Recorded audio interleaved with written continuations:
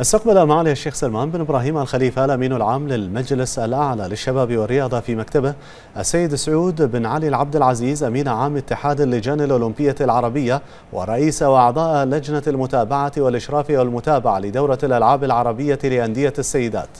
ورحب معاليه بالأشقاء العرب المشاركين في الاجتماع التشاوري للجنة الإشراف والمتابعة لدورة الألعاب للأندية العربية للسيدات. معربا عن اعتزازه باستضافة البحرين لهذا الاجتماع تجسيدا لحرصها المتواصل على إنجاح مسيرة العمل الرياضي المشترك بين الدول العربية ونهجها الراسخ بدعم كل جهد من شأنه الدعم ومساندة التظاهرات الرياضية العربية.